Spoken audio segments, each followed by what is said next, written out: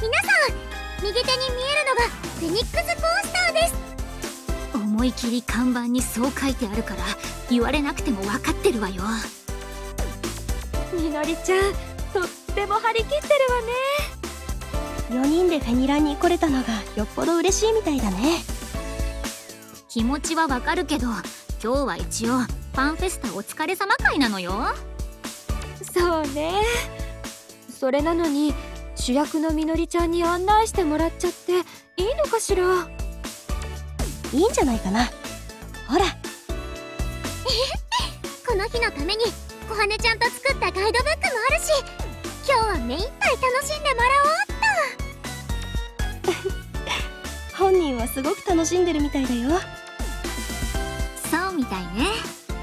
じゃあみのりに楽しんでもらうためにも私たちも目いっぱい楽しみましょうかえ